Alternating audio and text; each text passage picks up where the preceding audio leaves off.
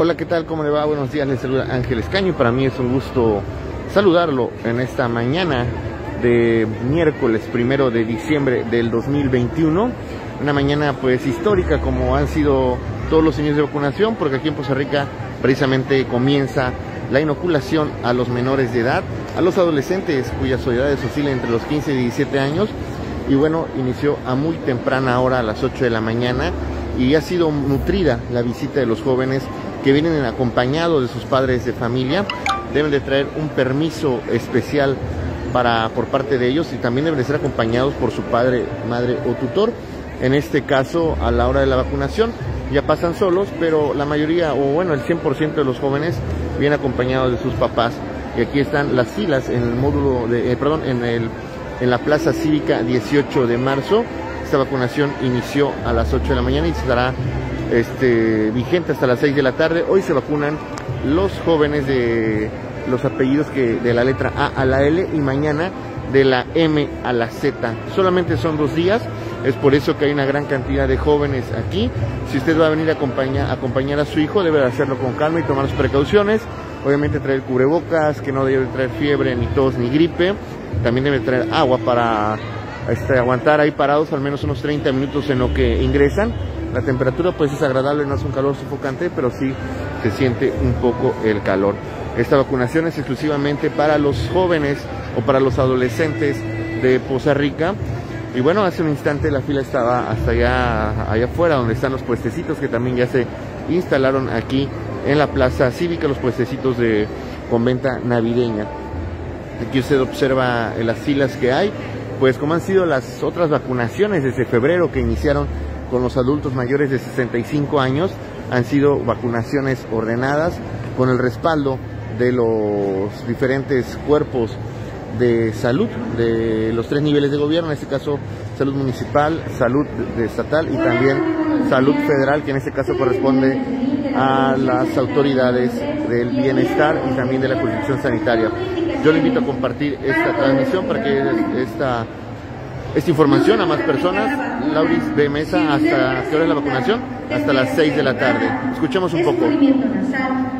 Tos seca o con flemas, dolor de cabeza, pérdida del olfato o gusto, haber tenido contacto con personas positivas de COVID en los últimos 20 días, haberse aplicado la vacuna de influenza en los últimos 14 días, haber sido caso positivo de COVID en los últimos 20 días, así también como haber consumido bebidas alcohólicas previas a la aplicación de la vacuna.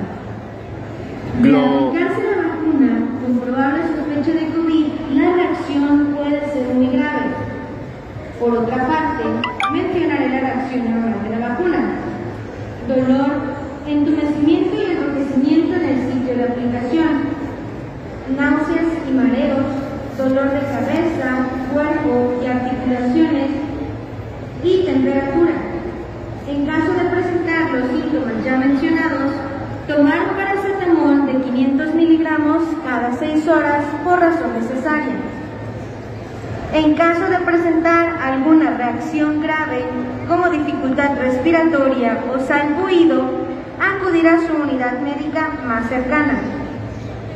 Si los síntomas comunes persisten más de una semana, acudir a su unidad médica o centro de salud más cercano. Les recordamos que debemos continuar con las medidas como el uso correcto de cubrebocas, el lavado de manos, el uso de gel antibacterial y el evitar aglomeraciones. Se les pide a los tutores de todos los chicos y chicas que estén hoy que si ya firmaron el consentimiento informado, pasen a la carpa verde. De aquel lado van a poder encontrar a sus familiares. También se les comenta que está prohibido tomar fotografías o videos por seguridad de los jóvenes, a excepción del personal autorizado.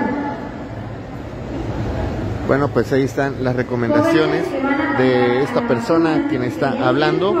Eh, Chloe López, que edad son 15 a 17 años, pero ahí en la pérgola del Parque Juárez están llevando a cabo vacunaciones rezagados. Es importante que se vacunen por la nueva, esto a raíz de que la nueva variante de Omicron de la COVID-19, pues ya está, ya tiene presencia en el continente americano.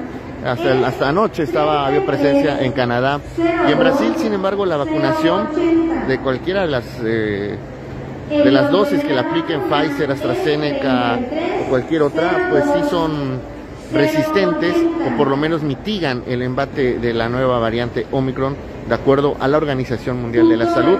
Esto se encuentra en la página oficial de este organismo mundial, de la OMS, pues sí sirve para, la vacuna sirve para proteger a los ciudadanos de enfermarse gravemente por la nueva variante y sobre todo de la muerte, como ha ocurrido también que, se han, que los casos han aminorado y que también las muertes han disminuido a todas las personas que se han vacunado y en el país, de acuerdo a la Secretaría de Salud, el 75% de la población ya ha sido vacunada y en Costa Rica hay un gran avance, ya están aplicando la dosis a los adolescentes de 15 a 17 años. Yo me despido de usted, le deseo un excelente día.